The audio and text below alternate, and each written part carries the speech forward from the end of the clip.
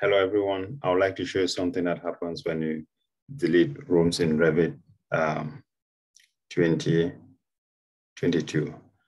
Uh, but before I do that, I would like to uh, generate rooms schedule so that you take note of it before we proceed. So I'm going to go to rooms. Then I'm going to cross area room name, number.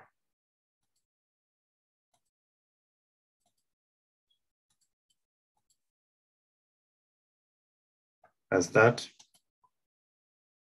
Now take note of this, uh, how it is. It is very nice. Now let me delete this. If I delete the lounge, and then I delete uh,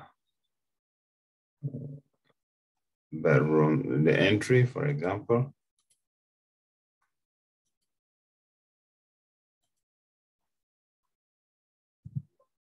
It says a room was deleted from all model views, but still remains in this project. Okay. If I have that, and then I decide to place uh, my room tag for my rooms to bring it back and I do that.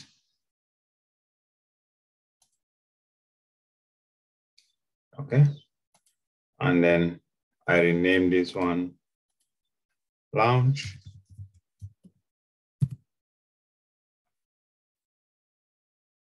And this one entry as before. Okay. Now, if I now generate my schedule,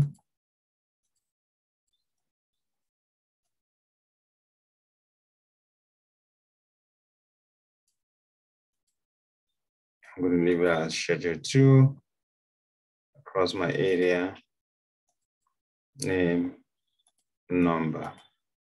So I'm going to bring it down. And then once I have that, yep. Uh, let me organize it. Let me change. Uh,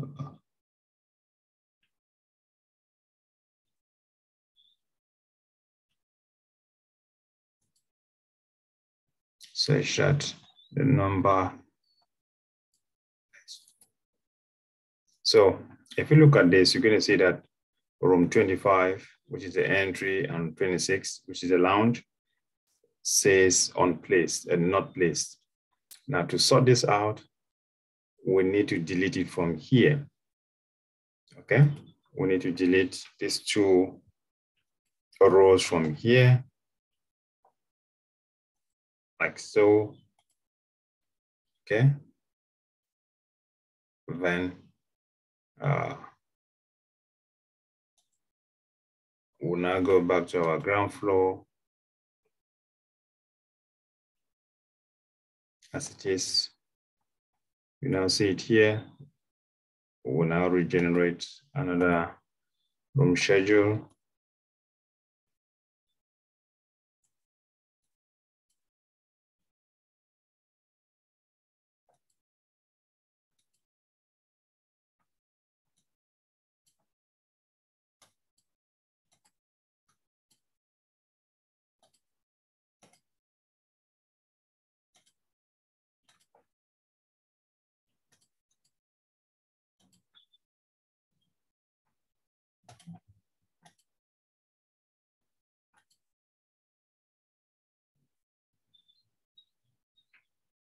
Now, you can now notice, although the room numbering has changed, but you can now see that you no longer have that note, note place, not place.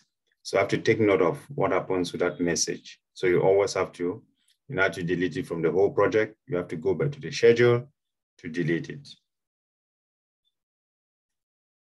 It does not suffice to delete it uh, from the plan view.